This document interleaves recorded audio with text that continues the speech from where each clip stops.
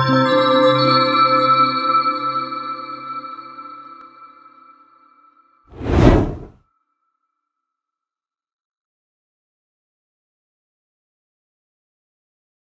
afternoon, and thank you for joining us this afternoon for this RTIG Inform webinar on the Analyze Bus Open Data Service. This afternoon, we're going to be looking at the on-time performance module. Um, we held a uh, session on um, an introduction to, to the Analyze service last month, uh, and that is available on our YouTube channel um, for those of you that weren't with us for that um, session. We are running this session uh, in conjunction with the Department of Transport and Ito World as part of the Bus Open Data Service launch activities. Um, this session is being recorded and will be made available through the RTIG YouTube channel uh, in the next couple of days you will get a copy, you'll get a link to, to that um, on your email and that will help you um, review anything that you want to, uh, to, to just um, check up on and to share the link with your colleagues who might not have been able to uh, join us. We are extremely keen for this to be as interactive as possible to make sure that we answer as many of the questions that you've got uh, as we can. So please do feel free to use the chat function that we've got um, on this uh, software and we'll um, pick up uh, those questions and either answer them uh, as we go along or uh, we'll have a uh, Q&A session at the end and pick the rest up then.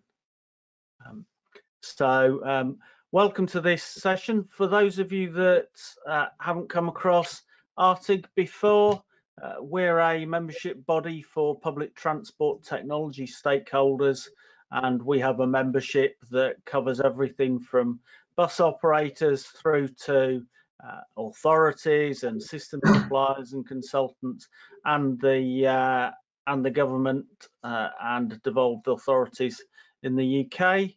Um, and we uh, work to provide education events like this, um, produce technical standards and best practice guidance for public transport technology. Um, and we uh, we represent um, the UK on a number of um, European uh, and international standards groups to make sure that uh, the UK's interests are appropriate addressed and, and covered in those standards.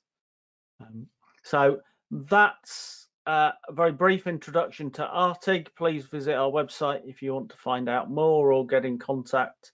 Um, afterwards, um, I want to spend, make sure that we have as much time as possible uh, this afternoon looking at the uh, Analyze Bus Open Data Service.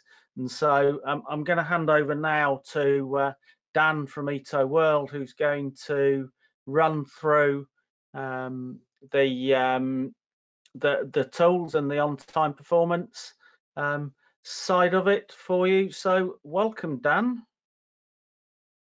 Thanks, Tim, for the introduction, and thanks everyone for joining. I'm just going to share my screen. Um, so yeah, I, will just introduce the session. So we're going to look at analyze bus open data and um, the on-time performance section of that, as Tim mentioned, and we're also then going to look at how the data quality um, affects uh, what is shown to you within that um, section of the tool. Um, so before we do that, I just wanted to uh, introduce uh, who Ito World is. So we're the Department of Transport's technical partner for um, both the Bus Open Data Service, so the core service which you upload your data to, and this service Analyze Bus Open Data. Um, so I'm Dan Jones, I'm a product manager um, for the Analyze Bus Open Data Service, and I'll introduce my colleagues. Uh, Patrick, do you want to introduce yourself? Yeah, thanks, Dan. Uh, hi all. Yeah, I'm Patrick Smallman, a support engineer at Ito World. I recently uh, joined Dan, Amy, and Kamal's team with the Analyze Bus Open Data Service, as well as uh, helping with a few other uh, Transit Hub uh, services. I've predominantly been helping with the onboarding in, with people such as yourselves with ABOD, as well as some uh, user case queries that have come with that. So I'll uh, pass it on to Amy. Thanks, Patrick. Thanks, Dan. Hi, everybody. Uh, I'm Amy Bridge. I'm a project manager at Ito World, and I work with the Department for Transport and others on the BODS uh, program. And so I work across both the Bus Open Data Service itself and also analyze Bus Open Data. And I'll let Kamal introduce himself now. Thanks, Amy. Uh, hi, everyone. I'm uh, Kamal. I'm a product manager and I work uh, for the Bus Open Data Service. I manage the uh, features and requirements uh, on the Bus Open Data Service. Thank you. Perfect. Thanks, everyone. Um, so yeah, today I'll give you a very quick reminder. So there'll be a couple of slides that were on the last webinar, um, just to, some very quick background to the Bus Open Data Service and how that fits in with um, Analyze Bus Open Data. Um, I'll then quickly give a demo of the on-time performance um, section and show you the features in there. And then we'll come back to the slides and, and talk through um, how good data quality relates to the analysis that you can get from Analyze Bus Open Data. Um, and Kamal will, will um, talk through a few bits from the core service as well that'll, that'll help you with that. Um, then we'll have a, a, session at the end for questions. Um, so if you have any questions as we go along, please post those in the chat um, and we'll either pick them up if we can um, as we go along or we will um, have that section at the end to, to answer anything. Um, so just a quick reminder of, of BODS itself. Um, so there are two main services in BODS. So there's the publish service, uh, which operators can use to provide their schedules um, in TransXchange format, um, the AVL in SIRI-VM format, and their fares in NeTEx format. Um, and there's also the consume side. So this is where data consumers can, can come to pick up your data. Um, and they can pick that up in the raw format. we also kind of turn your data into GTFS and GTFS RT, which is um, uh, slightly easier for some data consumers to pick up, um, especially journey planners. And then we provide an API as well, where um, data consumers can can search the, the full data set um, on BODS and, and take the data that they need, or they could just download it all as a bulk download. Um, so how this relates to Analyze Bus Open Data is we built what we call an integrated transit model, um, that takes in the TransXchange um, and the AVL um, feeds. It matches it together so we can work out which vehicle is, is running on which journey in the schedules. Um, and then it continuously archives that down. So that's kind of constantly being archived. Um, so we can see every departure that's kind of happened at a stop within the system. Um, and then we can provide that data to analyze bus open data um, for a variety of different use cases and user groups. Um, so the, the kind of user groups that are currently using it are operators, um, authorities like yourselves, um, and then DFT and, and, DVSA and so on are also using it. And, and the kind of use cases that we have at the moment are the uh, feed monitoring aspects, um, which we talked about briefly last time, um, which you can also subscribe to some alerts for. Um, and the main kind of chunk of what we're going to be talking about today is the schedule adherence um, and, and on-time performance as well. Um, so we covered that and I'll quickly jump into the service itself and just give a quick demo of the functionality before we continue um, with the slides. So one second, I'll just share my screen, different screen.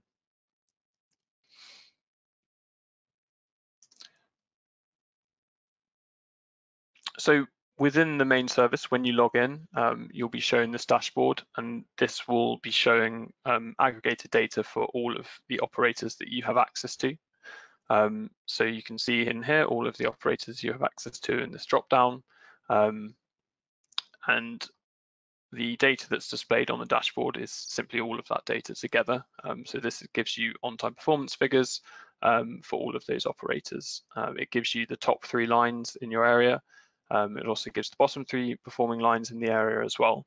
Um, so that gives you a quick overview of, of what's performing well and what, what's performing badly. Um, it also gives you slightly different kind of date range views. So you can just look at data from the last seven days, compare it to the month to date and the last 28 days and so on. Um, just a reminder that on time, early and late, the definitions um, for late is anything over five minutes and 59 minutes, uh, sorry, five minutes 59 um, departing late, and early is anything that departs more than one minute early. Um, on the right side, there's some kind of real-time feed monitoring stats. So this um, tells you the number of vehicles that the system expects to be receiving. So we look at all the schedules that, that we're kind of pulling in for all of the operators um, that this user has available. Um, and then we look at journeys and see how many should be running right now. Um, and then we look in the real-time feeds and say how many vehicles can we find that are kind of allocated to those schedules and currently running. So these numbers, um, once everyone is providing their data, will, should be very close together. Um, and then we have some brief feed monitoring stats. So um, this will tell you if you have any feeds that are currently not working. So for example, these two operators may not be providing real-time data right now. Um, and you can dig into the details of that if you want, as, as we went through last time. Um, so with the on-time performance section, um, you can also just select one operator here. Um, so you can see this update uh, just for that single operator. So you can see some overview stats just for that one operator and, and their top three and bottom three lines. Um, and again, on the on the right side, this updates. Um, so you can see um, this operator is providing uh, real-time data and we're getting um, uh, data from the schedules and, and also data from uh, the AVL feeds that are matching to those schedules as well. Um, so those numbers should be as close together as possible to get a kind of complete um, analytics data set. If we click on the on-time performance section, um, we can go in and find that operator we were just looking at from the drop-down, um, and we can see how that operator has performed over the time range you select. So you can select any time range here that, that you wish um, and click apply, and the graph will update to show um, day by day the time um, range that you've selected and how the on-time performance has um, worked across that time range. Um, you can view a, a, few different graphs. So you can, for example, view the time of day, how, how that operator um, performs across the day. So um, you can see here aggregated from 5 a.m. in the morning to 8 p.m. at night, how the operator is performing. So you can see if there's any particular times of the day where the operator struggles. And the same for day of the week as well. Um, so you can see if there's any particular day of the week um, that an operator performs better or worse. Um, and you can also see a distribution. Um, so we want all of the departures to be centered on a zero minute delay, but you can obviously see some departures um, go out into kind of very late um, departures and some towards the early side as well. currently by default, uh, the analysis you're looking at is for all the stops in your schedules. If you just want to view um, the performance for timing points, you simply click this toggle up here, and that will just uh, give you information on the screen for timing points only. Um, you can click some filters as well. So if you just wanted to pull in data from during the week, um, you can deselect Saturday and Sunday. Um, and if you just wanted to view uh, data from rush hour, for example, you can apply these filters um, that we've made available and that will update the information that you're viewing on the screen um, for those filters. If you scroll down below, you can see the overview stats for all the filters you've applied. Um, you can search for a service if you want. So if you know a service that you want to have a look at, you can search in the search bar um, and you can see in this table below the scheduled number of departures um, that we would expect, um, the percentage of recorded departures. So this is where we've actually got uh, real-time departure data for when that bus departed the stop. Um, so we want this to be as high as possible so we have a, com a complete analysis of the data. Um, and then you can see the average delay for that line and then the general on-time early and late stats. Um, they're provided as a percentage. If you want to see the actual raw numbers of departures, you can uh, select the count toggle here um, and see the uh, actual raw number of departures that we're holding uh, rather than percentages for on-time early and late. Um, if you want to see some more detail for a particular line, simply click in to that line and on the screen we see um, the same analysis uh, provided at an operator level um, down at line level. Um, the only difference on this page is down below what we see are the stops that belong to that service. So we can see slightly more granular information. Um, again, scheduled departures at the stop, recorded departures, average delay at that stop, and then the metrics for on time, early and late. Um, you can see the, the NAPTAN code for that stop here as well as the name. Um, and this little uh, stopwatch here indicates that it's a timing point. Um, so if we turn the, the timing points toggle on, um, we'll see all the numbers update and then we'll just see the timing points in the list here. Um, by default, these are ordered from the best performance down to the worst performance. Um, so that's something to keep in mind. The, the next sort of feature that we're adding to this page is so we can display this information on a map. So obviously right now, uh, this isn't ordered in a geographic way. So what we want to do is make available a map so you can so you view this information on the map as well. Um, so that's what we're going to be doing in the next couple of releases. Um, so hopefully that gives you a good good view of the functionality that we have at the moment for on-time performance. And I'll just jump back into the slideshow now.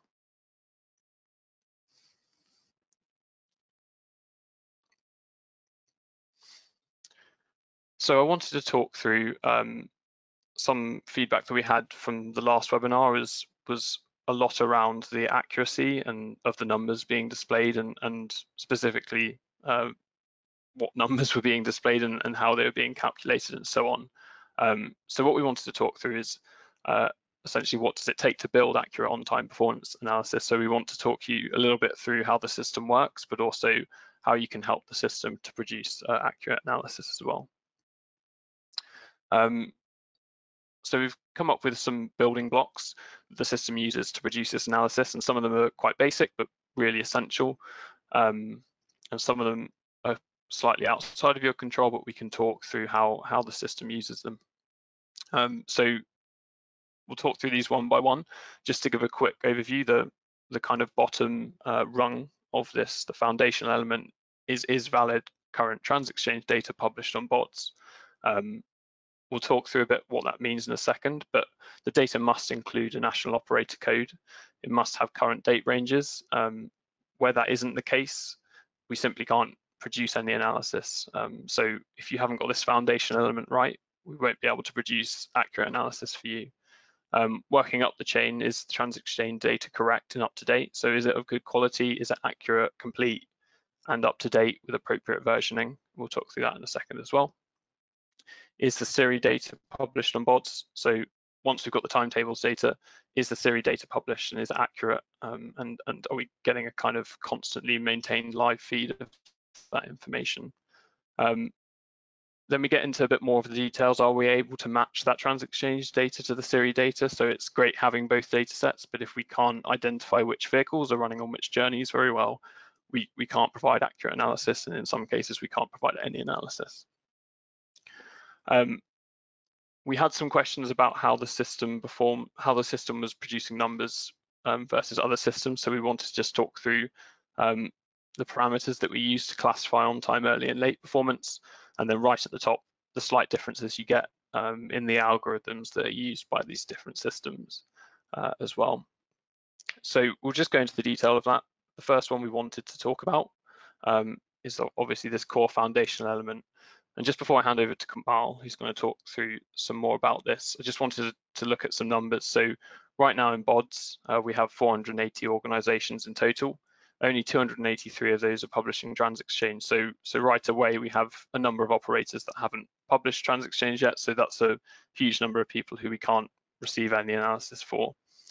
Um, if we look at the, the national operator codes, of the people publishing um, TransXchange data. Three quarters of them are using correct national operator code, so that gives us a straight, uh, straightforward in on producing the analysis. Um, however, 25%, around 25%, um, on publishing data, but without the correct NOC code or without any NOC code at all. Um, and straight away, uh, that means that we, we simply can't uh, produce analysis for that operator in an accurate way.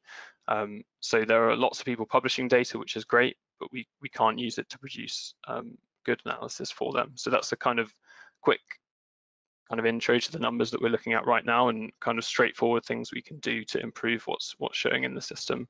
Um, but to talk through the details a bit more, I'll just hand over to Kamal um, to talk through how this works in the main uh, system. Yeah, thank, thanks, Dan.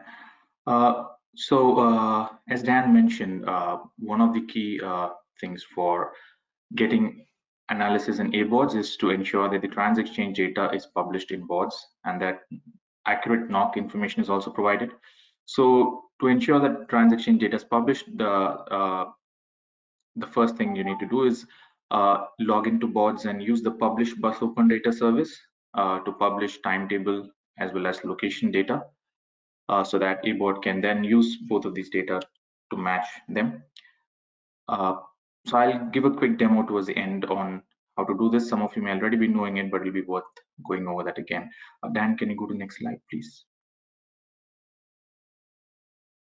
So another, uh, in, uh, addition to publishing TransXchange data, uh, a key information that we need for matching uh, data is the NOC code. And uh, as Dan mentioned, there are quite a lot of operators who are still not providing the NOC code. So where do where can we get this NOC code? So this uh, the NOC code can be found from the Traveline data link that uh, uh is displayed here. Uh, so from there, uh, for each of the operators, the NOC information can be got, and that's the NOC that we expect to be provided inside the dataset being published in BODS as well. Uh, the impact of NOC not being there is uh, it, affects the ability to match uh, data across the different data types. Uh, so therefore, it's important that uh, accurate NOC information is provided. Uh, next slide, please. Yeah, so once you have uh, you know published the TransXchange data, uh, it's also important to maintain that the data is accurate by periodically updating the TransXchange data with the appropriate versioning. So, so the next slide. So in the next slide, so here we, uh, we see how you can update the data in BODS. Uh, so BODS provides uh, two different ways of updating the data. So if you had manually published the data in BODS, uh, if you get got into the dataset detail, there is an option to update the dataset manually. Alternatively, if you chose to uh, publish using the URL option, then whenever a change, when whenever there is a change in the dataset at the end of the URL, BODS will automatically pick up the data uh, twice a day, once early in the morning uh, around 5 a.m. and another time uh, at 5 p.m. in the evening. So it's it's it's important that the operators ensure that the data is available uh, in a, and updated accurately because it's critical for ABODS to provide a, a accurate analysis. Uh, next slide, please. So once you have you know publish your data set in bods uh, and also uh, maintain the data set uh, periodically uh, the next key piece of uh, thing that you need to take care is ensuring that the data inside the data set is uh, of good quality. So bods provides two distinct services to help operators identify these data issues. The first is a data quality report so whenever a data set is published, BODS runs a few tests to ensure that the data is of good quality. Uh, I'll go over what those tests are, uh, those specific tests are in the coming slides and in the demo. Uh, but these tests will then provide, uh, after these tests are run, BODS will provide a data quality report as well as a score, uh, which tells, which, which indicates, you know, what's the quality of data and if any action needs to be taken on that. Uh, the second service that BODS provides is a, a compliance report. So uh, as you might be aware, uh, the TransXchange data published in BODS should uh, comply with the 2.4 schema. Uh, however, there are different ways in which the same data can be structured in, in 2.4 schema. So this BODS PTI standards, which are are, are an additional set of uh, standards that ensure that all of the data supplied into BODS are uh, structured in the same format.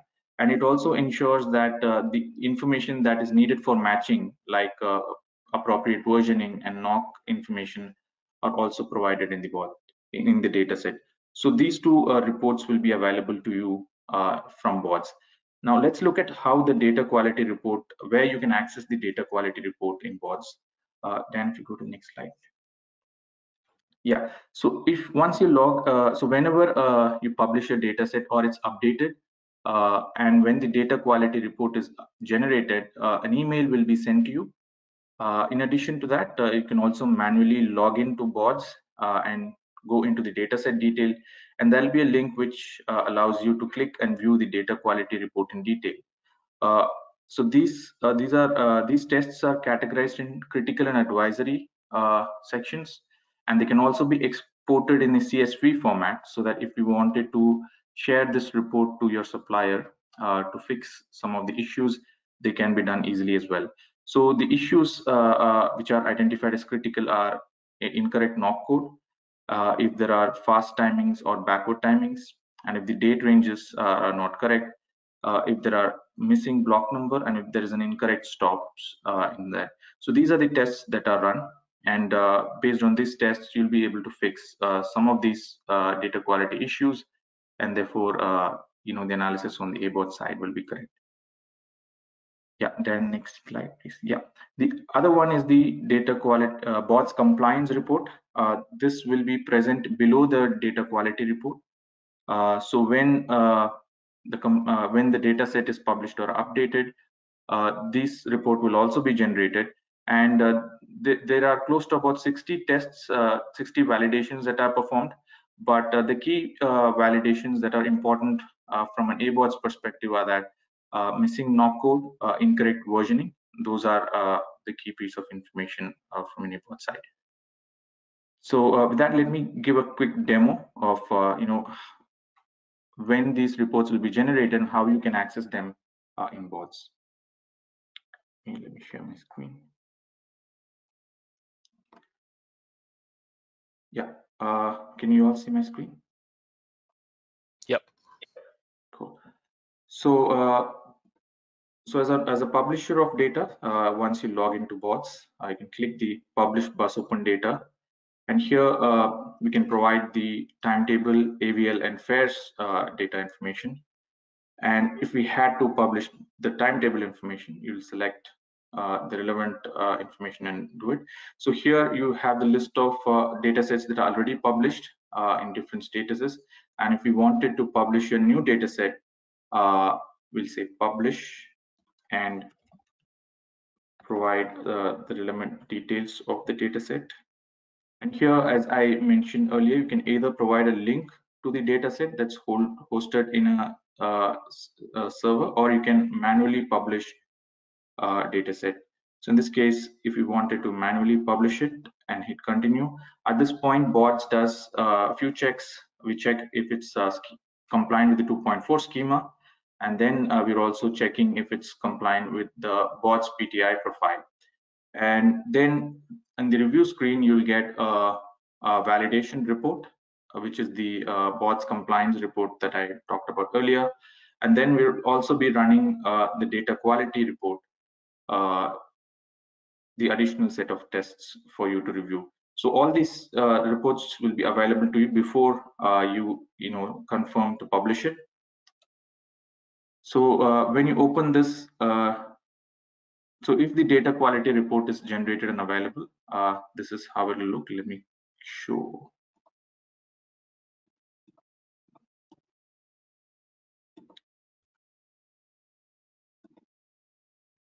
So data quality report is generated uh, with a score.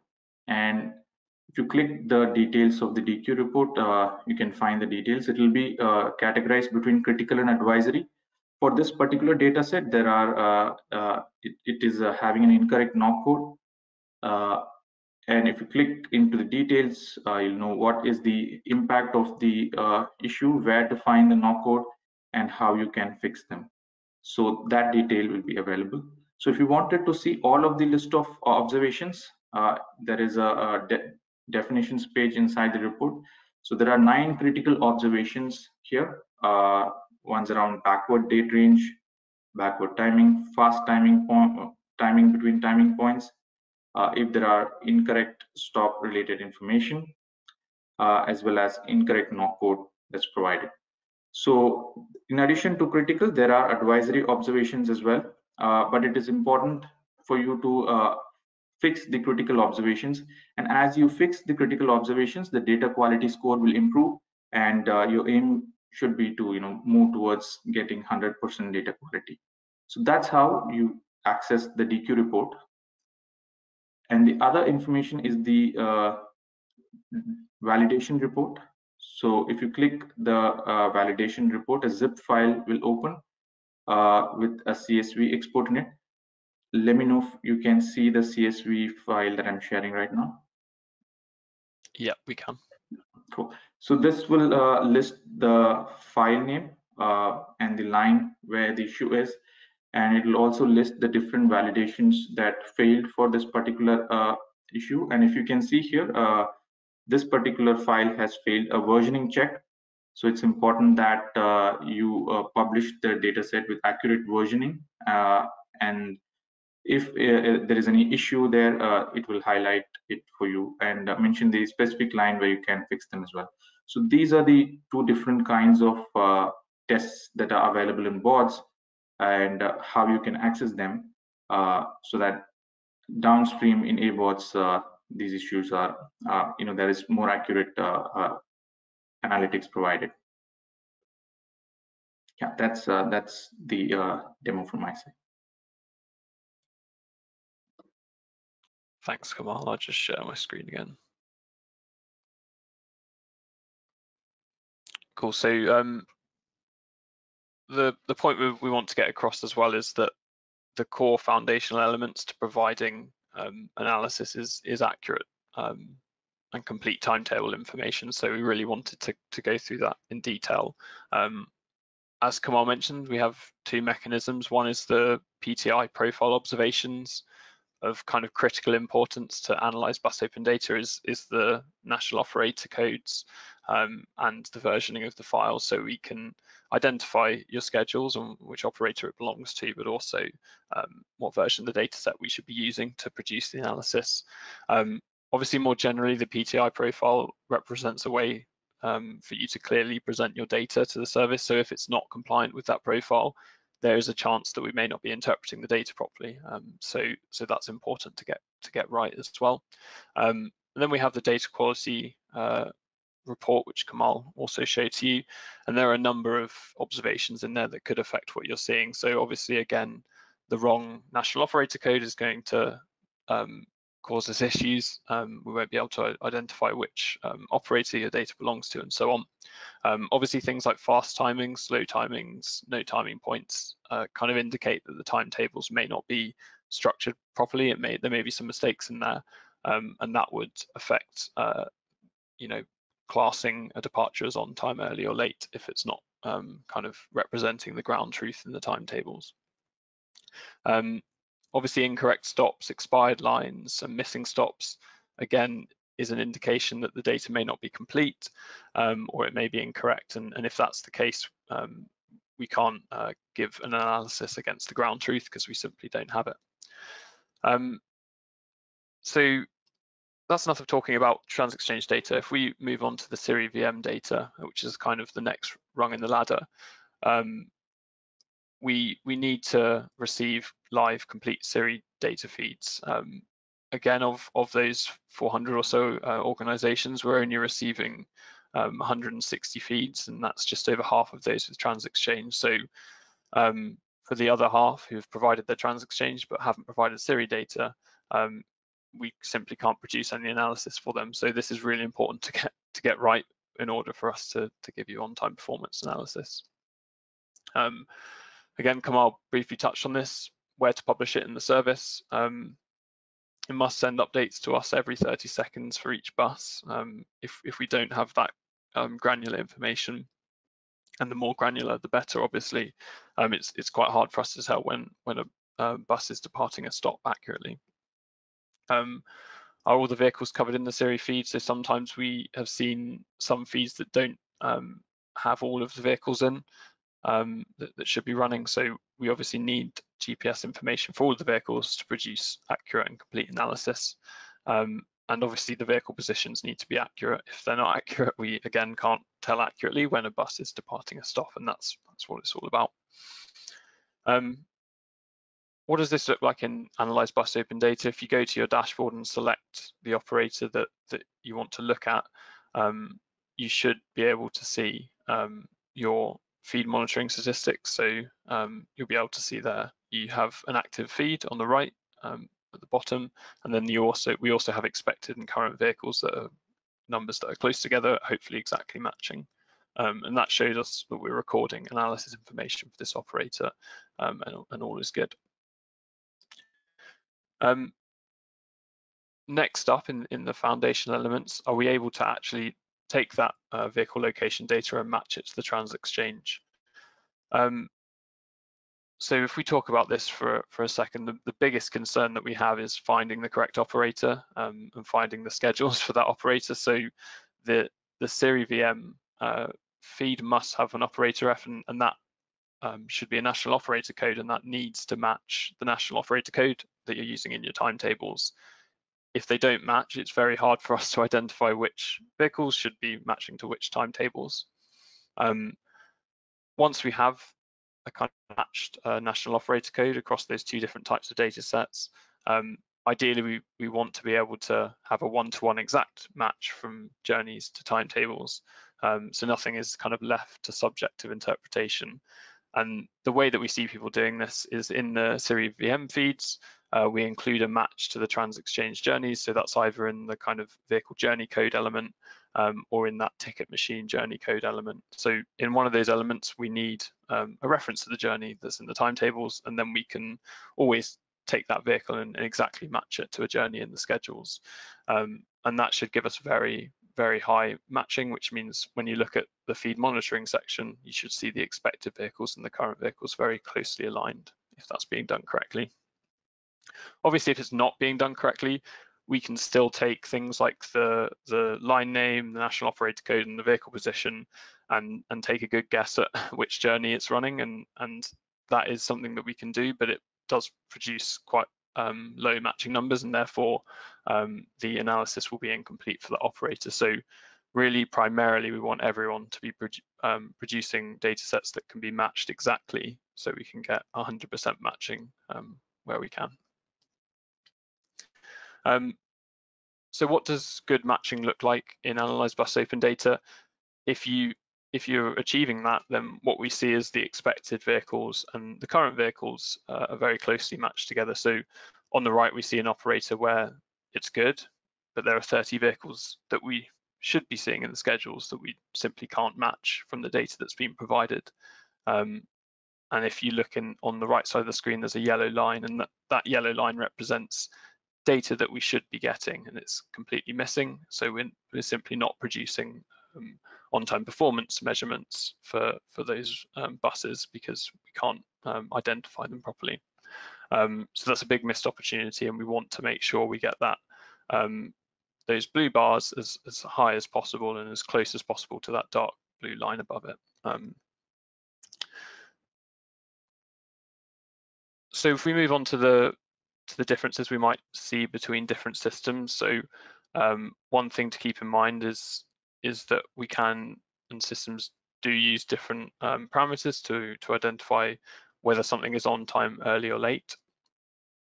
Um, it's pretty simple with an analyzed bus open data service. We're using um, kind of official uh, traffic commission definitions. So um, obviously not all suppliers will do that. Everyone can can do things slightly differently. Um, so on time is anything from one minute early all the way up to five minutes and 59 seconds late. Um, early as if we're more than one minute early and late as if we're more than five minutes and 59 minutes, uh, five minutes and 59 seconds late. Um, so just keep that in mind when you're comparing analysis, just to make sure you're comparing the same uh, parameters uh, as well.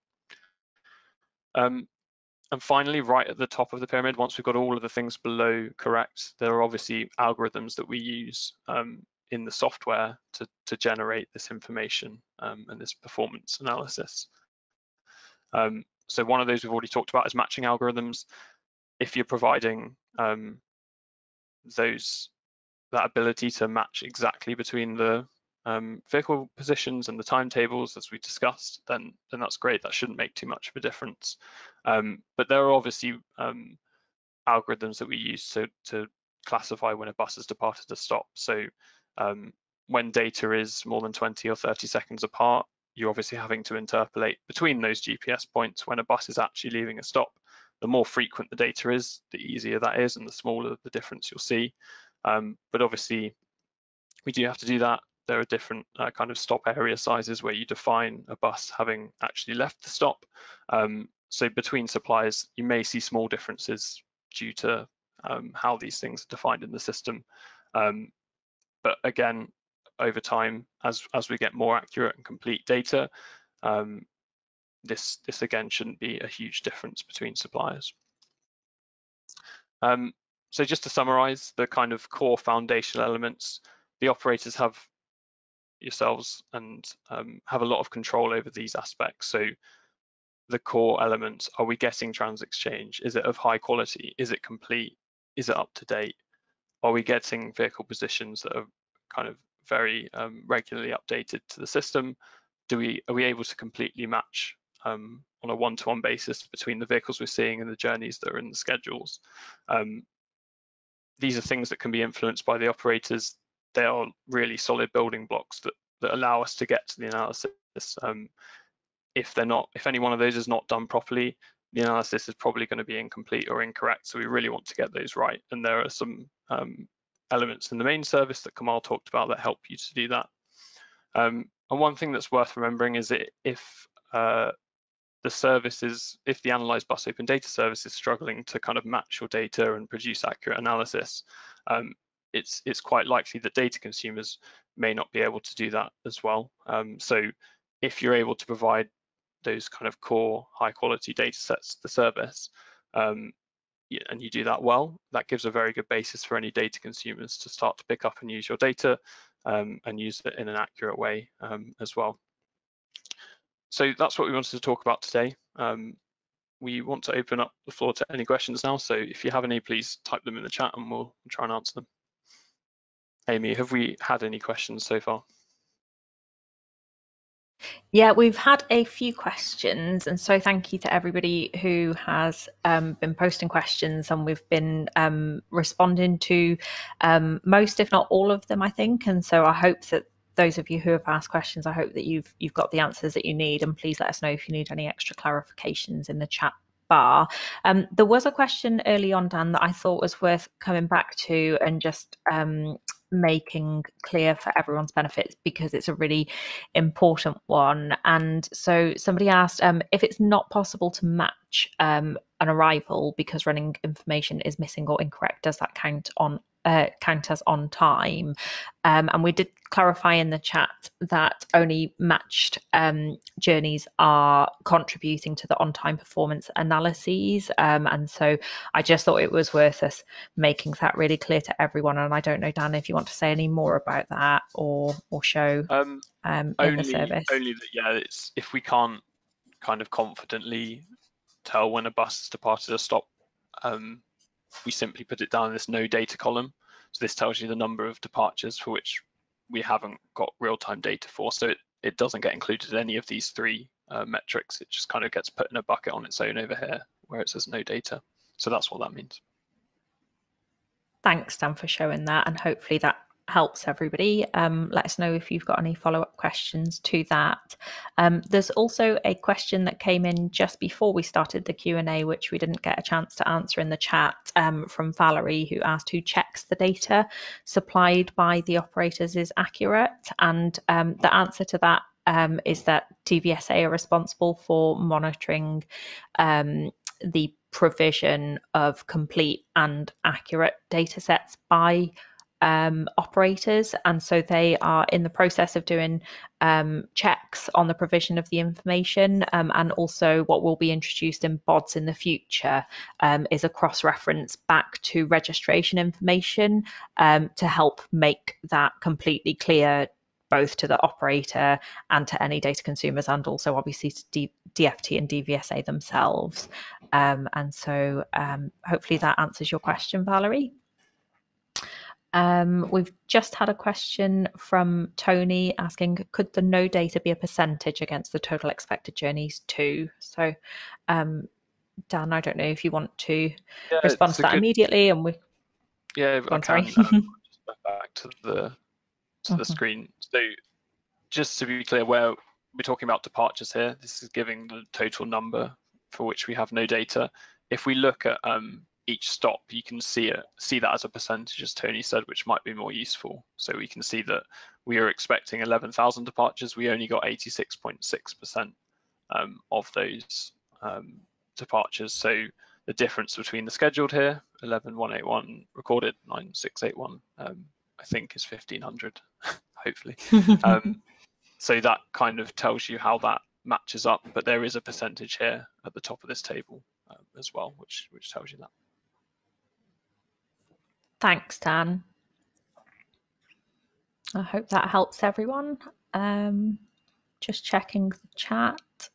Great, thanks Tony for, for your feedback.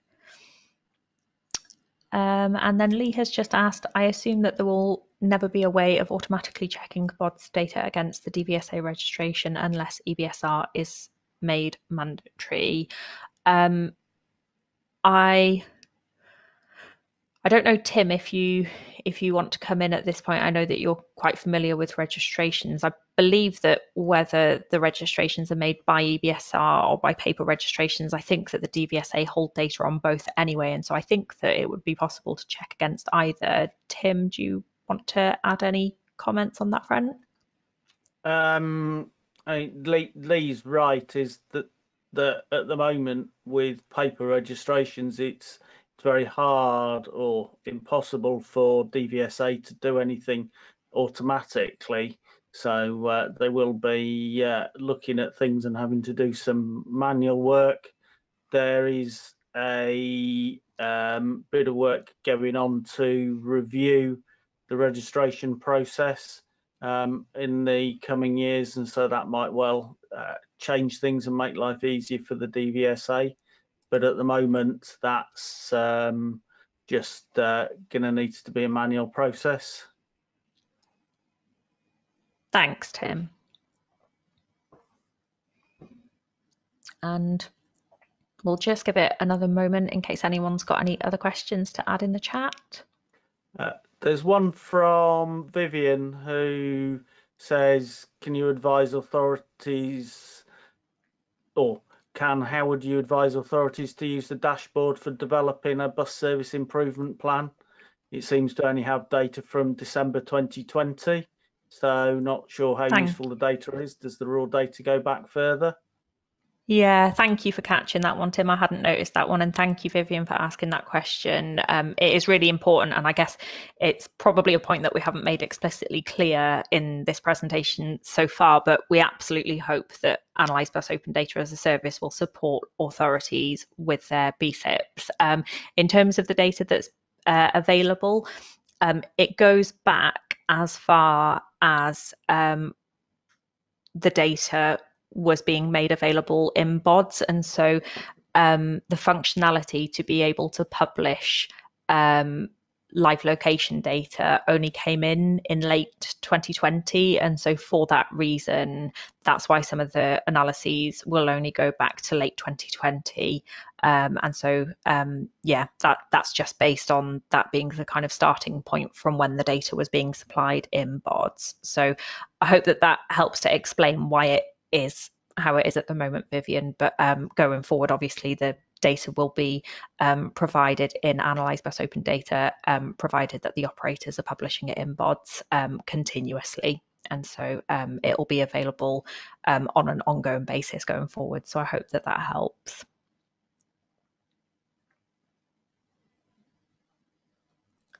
Um, and then I can see that Mark has just posted a question also asking a number of our operators also run services in other counties. Is there a way of splitting routes so that only those shown in your county um, uh, sorry so that only those in your county are shown um, so it's a, a, good question mark and i guess one of the fundamental um, things about the way that the analyses in ABOD are derived is based on uh, NOCs, so the national operator codes. And so, for that reason, if you've got operators who operate within your authority but also elsewhere, you, you will be granted permission to see that NOCs data. And so that's why you'll be seeing analyses for outside of your area. Um, what we will be introducing in ABOD uh, later in the year is geography based uh, views of the data. And so, what we hope is that at that point, because you'll be able to um, view the data and do analyses based on um, a geographical representation of that data, we hope that that will help you um, be able to, to zone in on the data that's relevant to you within your authority area. so there should be some functionality coming later in the year that helps with that. Um, and then Vivian has just asked, um, is there a way, is there an easy way for those not particularly technical to analyze the raw data or better to wait for the geography? Um, my interpretation of your question, Vivian, is that um, how would you be able to look at the the raw data coming via bods and i suppose that the answer to that is that you can you can pull data yourself from bods and you could do analyses on that yourself if if you if you would like to um, but in terms of viewing the data in ABOD, hopefully the summaries that we've given, and as you say, when the geography based um, functionality comes in later in the year, we hope that that will give you easy ways to interrogate the data in a useful way for for what you need. Um, if there are kind of different types of analyses um, or different types of views that you would like to see. We're really keen to get your feedback. We're hoping that Analyze Bus Open Data will kind of do the hard work for you.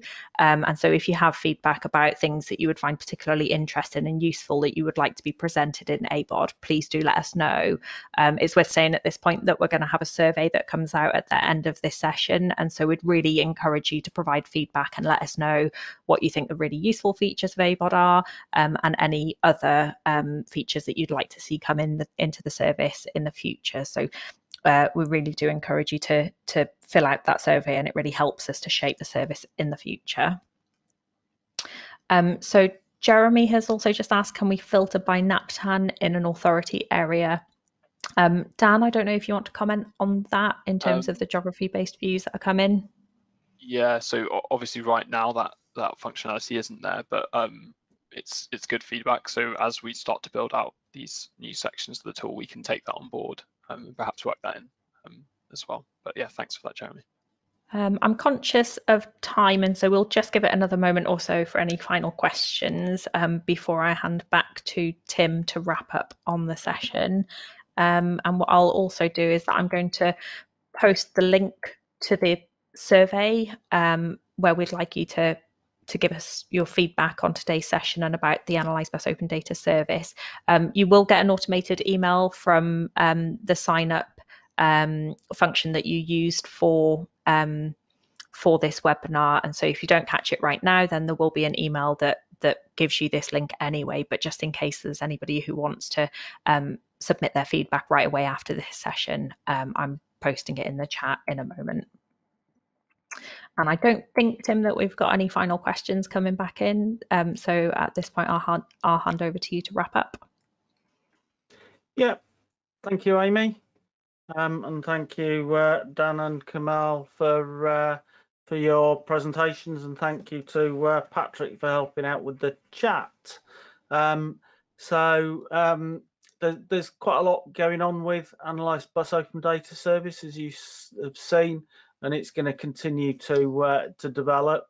Um, there are, have been uh, some events last month, and there are some other events um, um, scheduled in for um, next month, um, covering different aspects of, of the service. And so um, you can find out about those through the RT website. We've got a special page for Analyze uh, Bus Open Data Service, so please do visit that to uh, to find out more about um, the next set of uh, of events and more information. Um, so I'd like to thank everybody again for um, presenting, um, and I'd like to thank you for attending and asking your questions. Hopefully you've um, had them answered. If you've got any that you didn't want to ask in this open forum or um, didn't get a chance to put in, then please do submit them through the uh, through the feedback form that you'll get, um, and we will get back to you um, with a response. Um, and so, uh, thank you um, again for joining us. If you want to know more about RTIG and the work of RTIG, then please do feel free to get in touch. Uh, details are on the screen. Okay, thank you everybody and have a good rest of the day. Thank you for watching this RTIG webinar. To find out more about RTIG and our work, then please visit our website at rtig.org.uk. Thank you.